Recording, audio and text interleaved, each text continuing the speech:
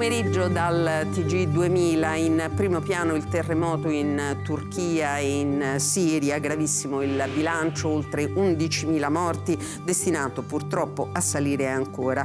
Il presidente turco Erdogan è arrivato in visita sui luoghi della catastrofe, il gelo complica i soccorsi.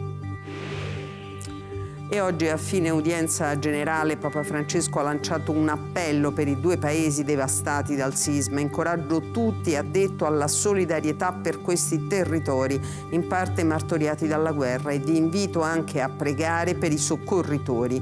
Il pontefice ha rivolto poi un pensiero agli ucraini senza luce né riscaldamento e alle vittime degli incendi in Cile e il presidente ucraino Zelensky è a Londra. Nella sua prima visita nel Regno Unito dall'inizio della guerra è stato ricevuto cordialmente dal premier britannico Sunak.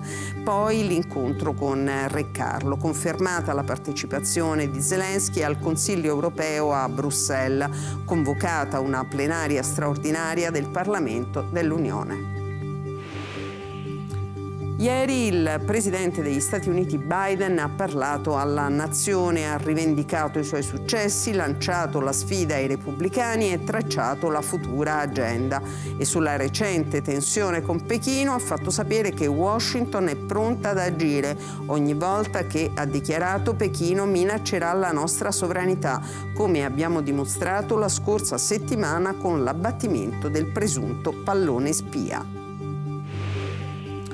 Il ministro dell'istruzione Valditara si impegna a tutelare la dignità professionale e l'incolumità di docenti e personale di fronte al recente allarmante aumento di episodi di violenza nei confronti di insegnante e personale all'interno degli istituti. Il Ministero richiederà all'Avvocatura dello Stato di rappresentare i docenti e i lavoratori della scuola nei giudizi civili e penali.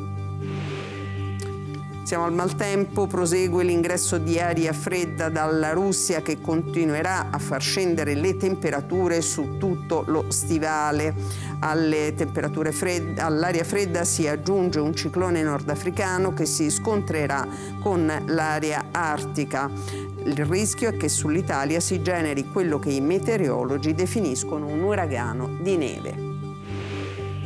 I mondiali di sci Marta Bassino ha vinto il Super G sulle nevi di Maribel in Francia, conquistando l'oro, precedendo la statunitense Schifrin e l'austrica eh, Wetter. Solo ottava Federica Brignone, delusione Sofia Goggi che è arrivata undicesima. E Sanremo omaggia la Costituzione. Alla prima serata del festival partecipa il Presidente della Repubblica Sergio Mattarella, monologo di Roberto Benigni sulla Carta Costituzionale che celebra i suoi 75 anni. Sul palco La Furia di Blanco che distrugge i fiori, stasera la seconda serata con gli altri cantanti in gara. Con questo è tutto, grazie per averci seguito, vi lascio a Siamo Noi, l'appuntamento con l'informazione torna alle 18.30. Vi aspettiamo, buona giornata.